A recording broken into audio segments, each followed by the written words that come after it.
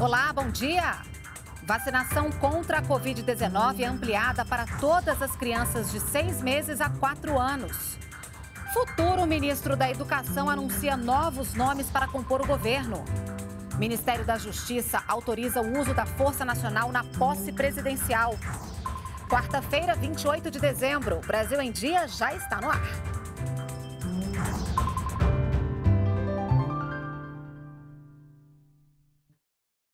8 horas da manhã, estamos ao vivo também pelas redes sociais.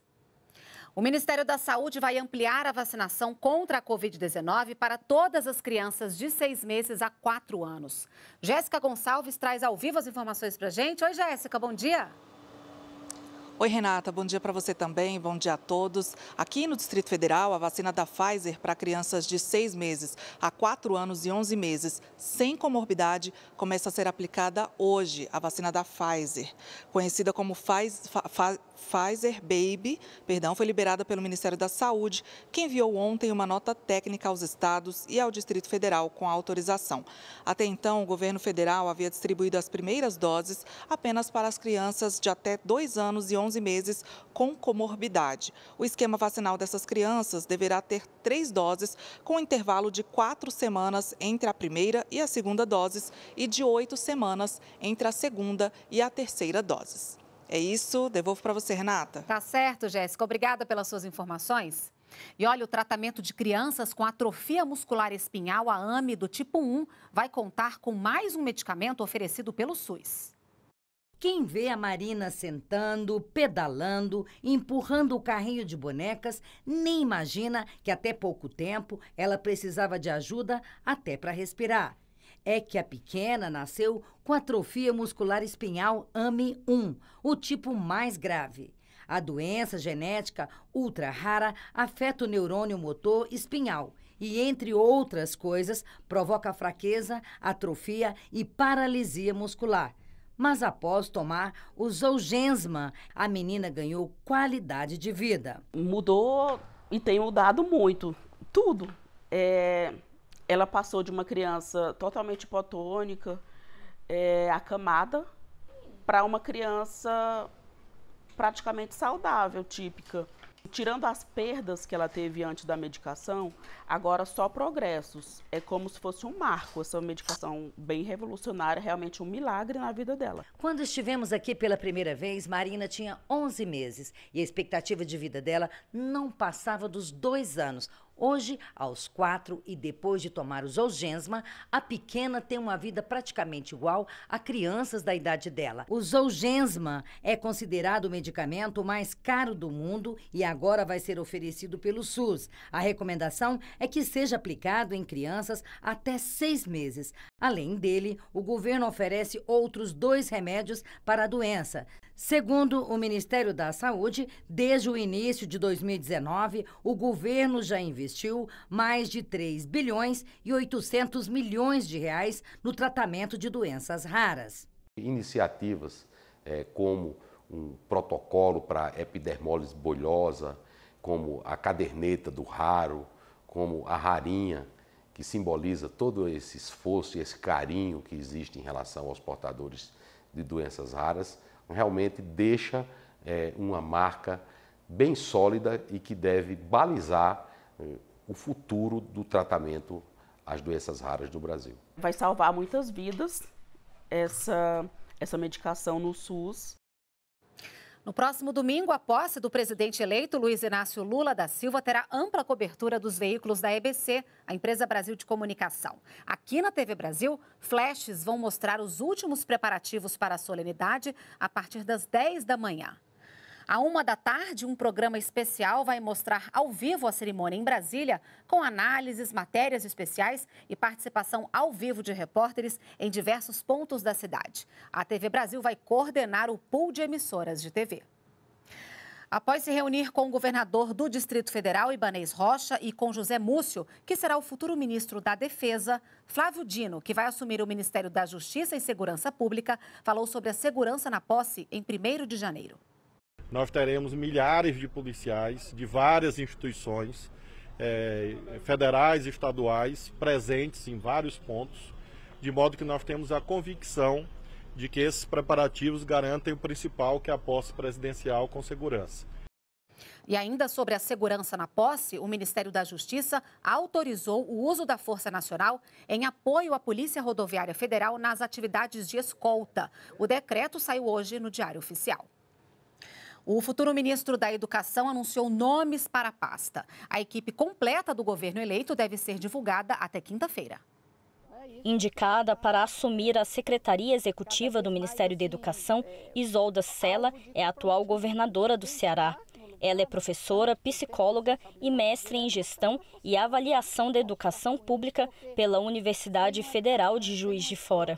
As importâncias nós sabemos, sabemos que são muitas, mas nós precisamos sempre elencar prioridades para que possamos garantir avanços e mudança de status né, naquilo que são os, as metas, os objetivos e a partir dessas prioridades, a articulação de todas as áreas em função disso. Camilo Santana também anunciou que Fernanda Pacopaíba vai comandar o Fundo Nacional de Desenvolvimento da Educação, o FNDE, que atua na liberação de recursos da educação para estados e municípios. Ele destacou algumas prioridades do Ministério da Educação no governo Lula. Os desafios são enormes, já conseguimos recuperar um pouco do orçamento do Ministério já para 2023.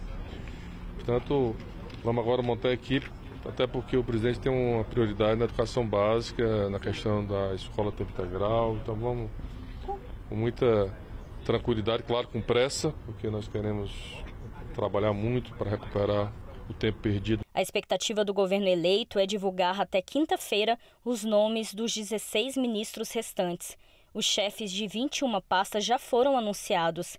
Indicado para assumir como ministro da Secretaria-Geral da Presidência da República, Márcio Macedo comentou a expectativa com a posse. Tem uma programação muito é, bem estruturado do ponto de vista da, tanto da posse formal, que tem já um roteiro pré-estabelecido é, pelo Estado brasileiro, pelos órgãos do Estado, e tem a posse popular que está sendo organizada pelo partido, pelos movimentos sociais, que nós temos a perspectiva de ser um momento de comemoração do povo brasileiro, Moradores de domicílios que ainda não responderam ao Censo 2022 podem ligar para o Disque Censo, que passa a atender a todos os estados do país. Vamos a São Paulo. Júlia Ballarini tem as informações para gente. Júlia, bom dia. Bom dia, Renata. Bom dia para você também que acompanha a gente. O atendimento pelo Disque Censo é feito pelo número 137 e conta com 120 agentes de pesquisa por telefone. A ligação é gratuita, pode ser feita por qualquer telefone, seja fixo ou celular, durante a semana, das 8 horas da manhã às 9 e meia da noite. O serviço será disponibilizado de forma gradativa nos municípios, de acordo com o andamento da coleta em em cada local. Agora, ao receber a ligação, o morador deve certificar que nenhuma outra pessoa ali da casa ou da residência tenha respondido ao censo. E o IBGE alerta: nenhuma informação do questionário é passada ao solicitante, né? nem nome, endereço, enfim. Então, com mais de 80% da população recenseada, a etapa final de coleta deve ser feita com atendimento telefônico. A coleta do censo começou em agosto deste ano. Renata, eu volto com você aí no estúdio. Tá certo, Júlia. Obrigada pelas suas informações. O Brasil cada vez mais conectado e com internet rápida. O 5G chegou em 2022 e já está em todas as capitais e alguns municípios. Em um país com dimensões continentais, levar internet para regiões isoladas também foi outro desafio realizado este ano.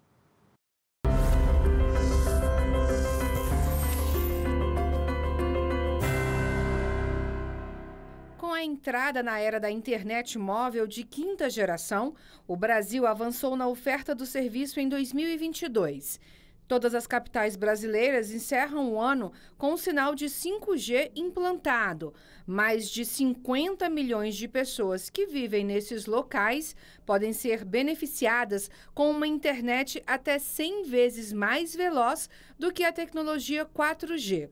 O poder de transformação do 5G é vasto. Cidades inteligentes, carros conectados, telemedicina, é, maior segurança, é, aplicações na indústria, no agronegócio. E isso vai propiciar também um desenvolvimento para o nosso país. Para implantar a rede 5G, foi preciso fazer a limpeza da faixa de 3,5 GHz, o que implicou na migração dos canais de TV para o sinal digital e na necessidade da troca dos receptores de antenas parabólicas de 18 milhões de residências no país. Cerca de 10 mil famílias inscritas no Cadastro Único para Programas Sociais do governo federal receberam os kits com a nova antena digital de forma gratuita. Os novos equipamentos mais modernos vão garantir que os cidadãos continuem acessando de graça a TV aberta no país. Utiliza antenas menores, são antenas de alumínio bem mais leves, de 60 centímetros, com, com o seu receptor de sinal interno. É, se ela não, não migrar, ela vai sofrer interferência e não vai funcionar.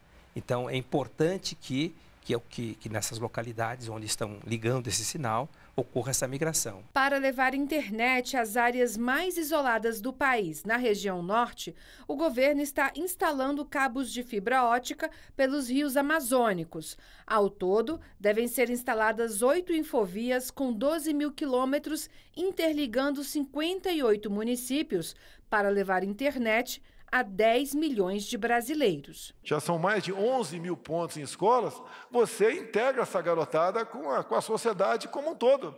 Pesquisas são feitas em, com poucos cliques, coisa que você demora, demoraria horas por vez numa biblioteca, se é que você ia ter uma biblioteca naquela região. Depois do Natal, é hora de trocar os presentes. Veja agora os, os direitos do consumidor na reportagem. O presente de Natal não agradou? Não serviu, não gostou da cor ou já tinha igual? Então é hora da troca. Ficou um pouco menor, aí eu aumentei o número da, da peça da qual eu precisava trocar. Mas é importante ficar atento. Se o presente foi comprado em uma loja física, a troca só é obrigatória se o produto vier com algum defeito.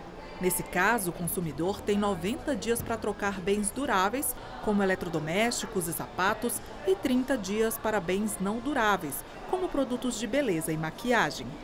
Então, tem aqueles produtos que têm vícios ocultos, por exemplo, um aparelho celular que no sexto mês do produto ele teve algum problema. O consumidor não tinha como reparar, verificar aquele, aquele vício então, o prazo conta a partir da constatação do vício, tanto de 90 dias quanto dos 30, de 30 dias. Agora, se for só questão de gosto ou porque o presente não serviu, vai depender da política de cada estabelecimento.